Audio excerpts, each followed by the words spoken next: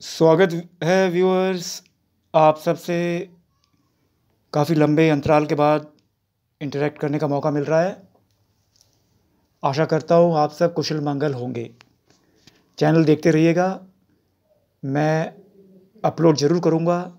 भले ही मैं थोड़ा लेट करूँ। और सब्सक्राइब भी करिएगा ताकि हमारी जो आपसे ये इंटरेक्शन है, ये चलता रहे। और आपके समस्याएँ भी समाधान होते रहें।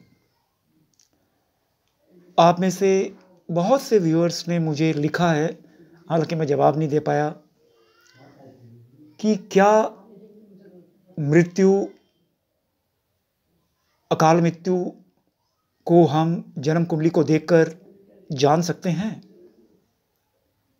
कईयों ने इसलिए पूछा कि एक एक्टर की अचानक अकाल मृत्यु हो गई, उनके फ़ैन रहे होंगे सारे। क्या इतना बड़ा सेलिब्रिटी क्या इसको पहले ही अपनी कुंडली देखकर चीज़ों को जान लेना चाहिए था या नहीं? मेरा बहुत लंबा अनुभव साधना की यात्रा में रहा, ज्योतिष शास्त्र में रहा। अनगिनत कुंडलियाँ देखी जिसमें मैं कोई प्रोफेशनल नहीं हूँ। एक बात मैं कहना चाहूँगा कि हाँ अकाल मृत्यु का योग जन्म कुंडली में होता है। बहुत पूजा पाठ, दान पुण्य, सत्संग, सेवा के द्वारा ही आप बच सकते हैं। हाँ यह यदि आपने बहुत ज़्यादा पाप पूर्व जन्म में किया है और मालिक आपको पनिशमेंट देना चाहता है तो उस दौरान बचना नामुमकिन सा होता है, लेकिन फिर भी आप बहुत, आपको पहले से ही पता चल गया और बहुत पुण्य के रास्ते में रह रहे हैं। आपको पता है, मैं बहुत बड़ा सेलिब्रिटी हूँ और ऐसा स्ट्राइक हो सकता है। क्योंकि मेरी कुंडली में फलाना ग्रह कमज़ोर है।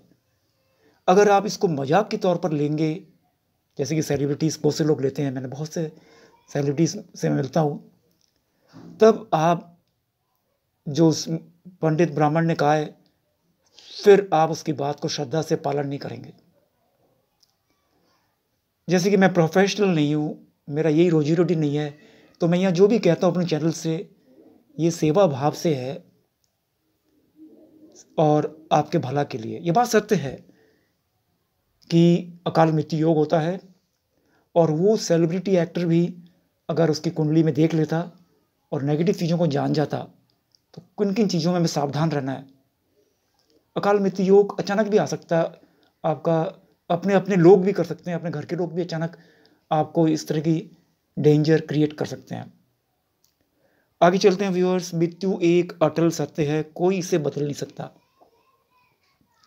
कब, किस कारण इसकी मौत होगी, यह कोई नहीं जानता।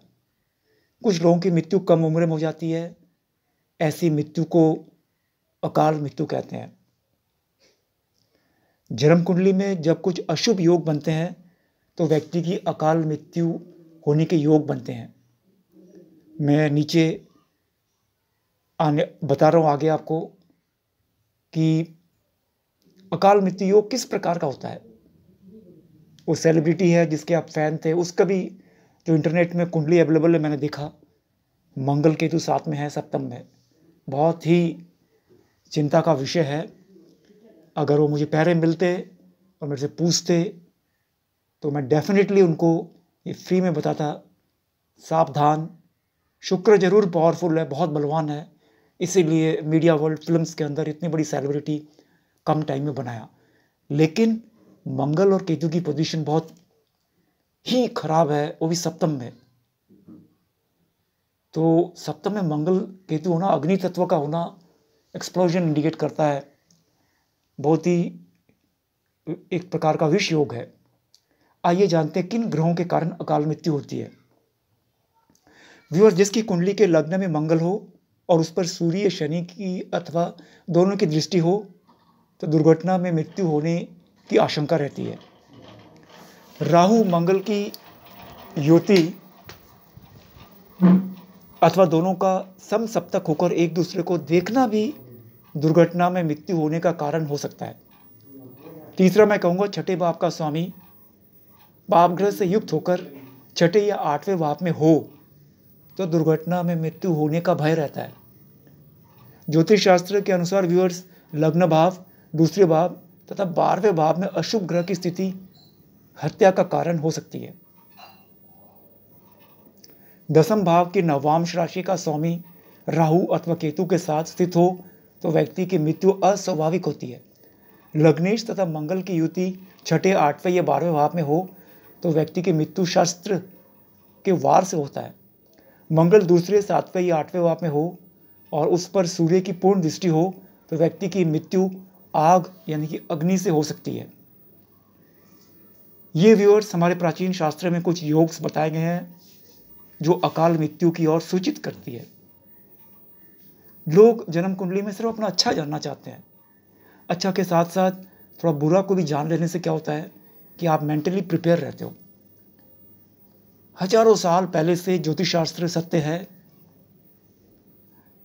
सत्य आज भी है और आगे भी सत्य रहेगा। ये बात अलग है कि हम एस्ट्रोलॉजर लोग, ज्योतिष लोग इंटरप्रिटेशन में मतलब निकालने में ग्रहों के गलत हो सकता है। ज्योतिष शास्त्र गलत नहीं है। धन्यवाद व्यूअर्स चैनल सब्सक्राइब करिएगा। जल्दी मिलता हूँ। Thank you bye